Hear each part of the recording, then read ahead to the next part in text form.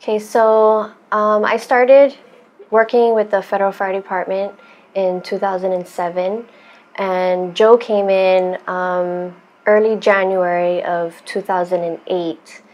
And when Joe came in, he didn't have a uniform on, and he was just wearing an aloha shirt and jeans. And um, the chief introduced him to me, and I was like, "Who's this guy coming in here? No uniform on. He's not even ready. This is his first day of work." Yeah, she kind of dismissed me the first time.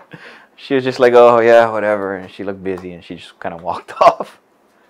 You know, every single morning he would either call my phone or he'll come to my desk and um, bother me.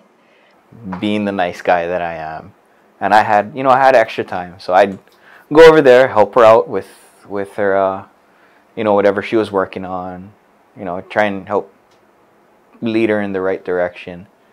And I'll just be like, uh, you know, kind of giving him the vibe of not interested, leave me alone. I would listen to my iPod. I guess I fed the animal because you know once once I helped her that one time, you know she'd keep coming around asking for help. Hey, how do you do this? You know, how do you write this? He would ask me. He would go, "So, what are you doing?" And I'm like, "Working."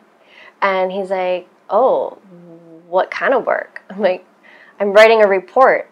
Oh, what kind of report? Just asked her out, like, you know, nonchalant, you know, just kind of putting it out there. And yeah, I guess she was she was perceptive to do it, and she said yeah. So that that was it. He would tell me, "I think we should go out sometime," and I'm like, "Oh, okay. Well, I think you're wrong." And he was like, "No, I think I'm right. I think you should go out with me." And I was like, "No, we shouldn't." I guess you could say to the point where she thought I'd come to work and screw around because she was working so hard. And I just made it look easy, so she thought I was playing around. Um, our first date was at Ige's.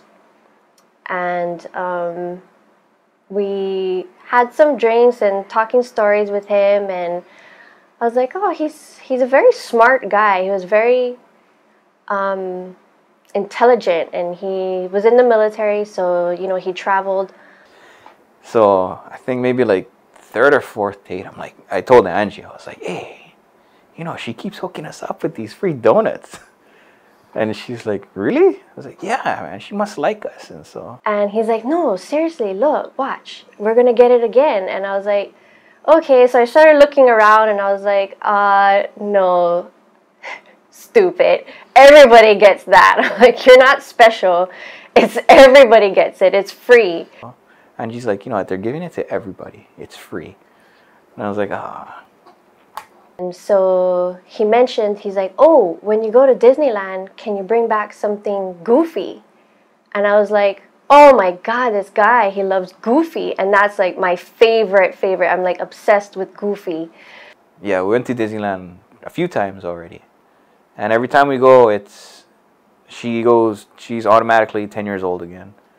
And I just gotta sit there and eat it and just just watch. Short story is I got ditched for Goofy.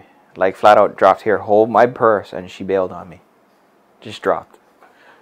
You know, I noticed. You know, I came to realize that she's just she's just really goal oriented, and you know, when it's work, when it's time to work, she works, and you know, there's you know, there's something admirable about that. That you know, she she wants to do stuff on her own, and she wants to get it done.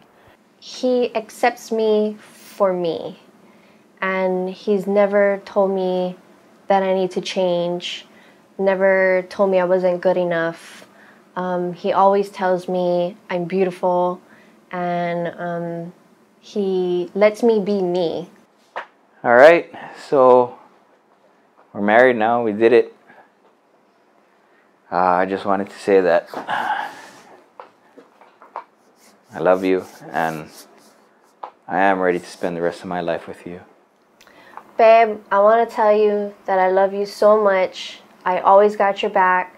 I can't believe after eight years, we're finally here and we're finally married and we're going to get to spend the rest of our lives together, hopefully have some kids. And I just can't wait for our new adventure together. I love you so much and thank you for everything. Love you.